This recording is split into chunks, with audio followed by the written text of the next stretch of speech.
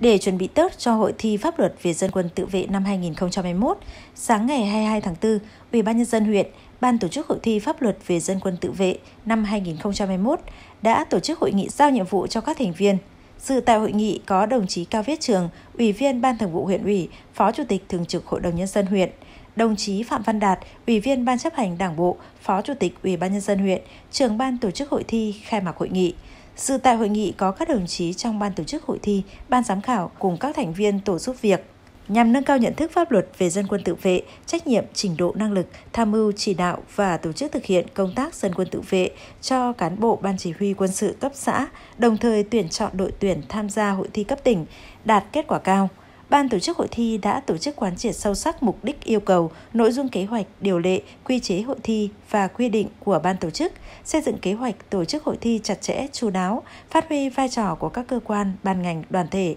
trong tham gia tổ chức hội thi đạt hiệu quả thiết thực. Cơ quan quân sự tích cực, chủ động, phối hợp hiệp đồng, làm tốt công tác chuẩn bị, nội dung hội thi phải thiết thực, sát với từng đối tượng, tổ chức điều hành chặt chẽ, đúng kế hoạch và bảo đảm an toàn tuyệt đối cho người, vũ khí đánh giá kết quả trung thực, khách quan, chính xác, khen thưởng, xử lý vi phạm kịp thời, kết hợp hội thi với tuyên truyền phổ biến sâu rộng pháp luật về dân quân tự vệ, tạo khí thế sôi nổi đoàn kết, thi đua học tập giữa các đơn vị. Thông qua hội thi, lựa chọn đội tuyển tham gia hội thi cấp trên đạt kết quả cao.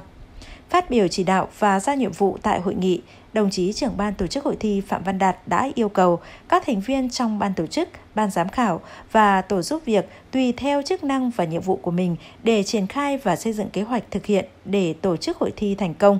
xây dựng kế hoạch hướng dẫn các nội dung câu hỏi, đáp án thi, chuẩn bị các nội dung bảo đảm cho hội thi, hướng dẫn cán bộ tham dự hội thi, ôn luyện các nội dung, chuẩn bị tốt công tác thi đua khen thưởng cho các tập thể và cá nhân đạt thành tích cao trong hội thi. Đồng chí cũng nhấn mạnh thêm, các thành viên ban tổ chức cần chuẩn bị tốt nội dung để chuẩn bị cho hội thi, nhất là công tác tuyên truyền, làm tốt công tác bảo đảm an ninh trật tự các khu vực thi, triển khai các biện pháp phòng chống dịch COVID-19, bảo đảm an toàn cho hội thi đúng quy định.